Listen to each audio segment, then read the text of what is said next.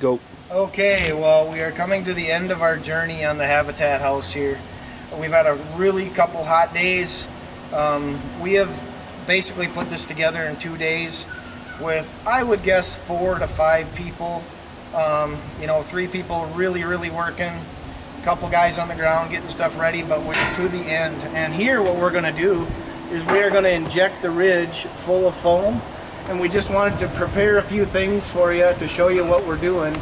Um, we're going to use, it's a maximum expansion foam, and it's a two-part uh, mixing component. And we have we have already shaken the containers for about a minute, minute and a half a piece. Got them good and mixed up. And uh, we're going to have a tip here that goes on to the end of the gun, just like this. This goes in here that snaps on like that so that's the end of it. And we are actually going to uh, test it to make sure everything's working. Now how we're going to do that we are going to open up both tanks. We're going to make sure that we open these both up exact both up 100%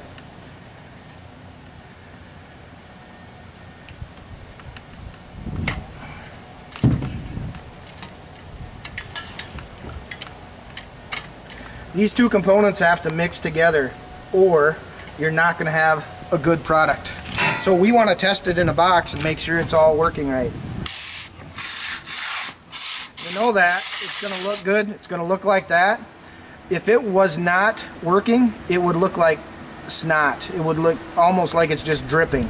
But you can tell it's giving us a good even mixture.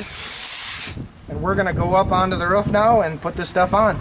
We're going to do it in a hurry. Okay, so we're up on top of the roof and we are simply going to seal the bottom. We're going to put that down in about as far as I can go and I'm just going to shoot it. And it's fanning out, so I want to get it down as far as I can. And we're going to come back again, so I'm just going to keep foaming as I go.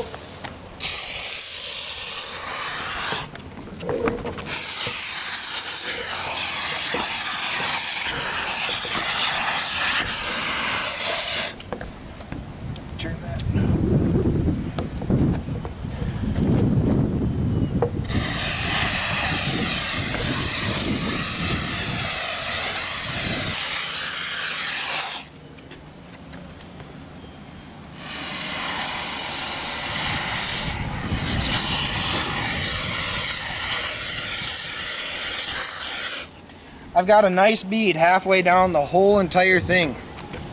And now you can see some areas are already coming up.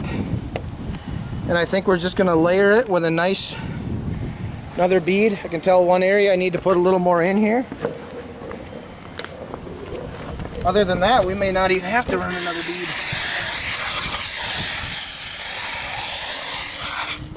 The nice thing about this stuff is you know right away if it's working. And it is working. I don't know that we even have to run another bead through. We'll put it where we need to. But we don't want to have this stuff four feet high either.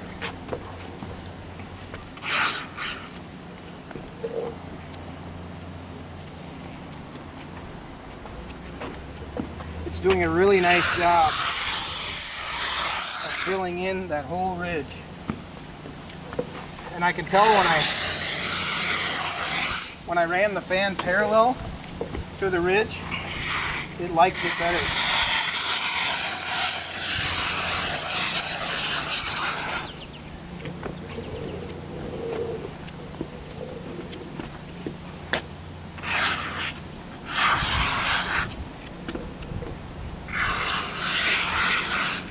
And there we go.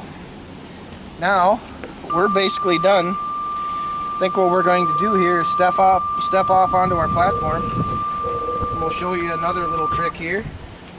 White Tony to Marshall North Ambulance. Ambulance is needed at 900 Cheryl. Ambulance is needed at 900 And we are going to take this end off. Put in the box. I'll put this the in the box. is telling me she is awake, but she can't seem